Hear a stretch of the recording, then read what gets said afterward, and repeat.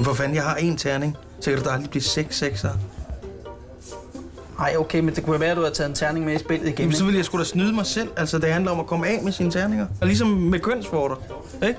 Det handler om at komme af med det i min fart, eller lyve, mens du har det. Den der biltyveri-sag. De ved, det også der har gjort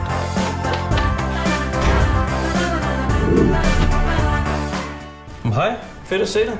Kom godt hjem. Jeg er mest bange for det der DNA. Det er jo bare lidt blod, eller et hår, eller lidt sæd. Ja, vi har ikke knippet bilerne.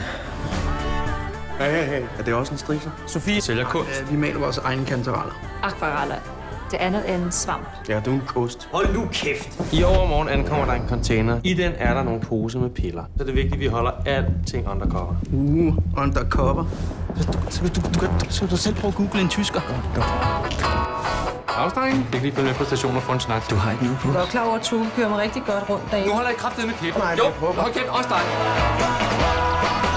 I just want what belongs to me. Hun snakker tit om dig. Gør hun det? Ja, nogle gange siger hun også søde ting. Ja, jeg vil bare have en Så barnevogn. skulle du måske have stjålet sådan en og ikke to biler. Jeg har en lille smule OCD. Kender du OCD?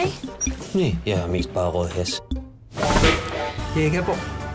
Det, det er det bedste kød på larm. Det er røvhullet, de har skrællet af grisen. Det er stadigvæk mager. Det er da stadigvæk røv. Nå, og hvad så? Så har jeg lige mere røv. You are the dancers, right? No, yes. Det er alle for en, det her. Hvem fanden har lukket Robin Hood ind? Egentlig skulle jeg have været ude og spille golf her til morgen. Jeg tror, hun håber på at føre en fornuftig samtale. Lige vi der bare sidder her og spiller kønsvogne. Så stod der en spritny cykel derude, mand. Den er fandme både med... Martin? Har jeg glemt at låse den?